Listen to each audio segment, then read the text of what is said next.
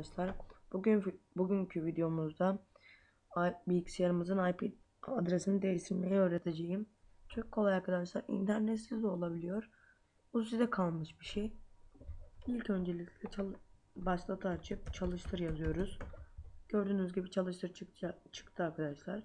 Çalıştıra tıklayıp buradaki çıkan boşluğa mmc yazıyoruz. Sonra Sonra Enter'a tıklıyoruz arkadaşlar. Sonra siz görmüyorsunuz. Microsoft yönetim konsoluna izin vereceksiniz.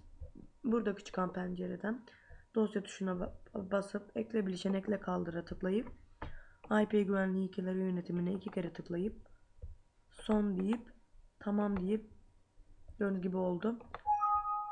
Konsolu böyle kaydedeceğiz arkadaşlar.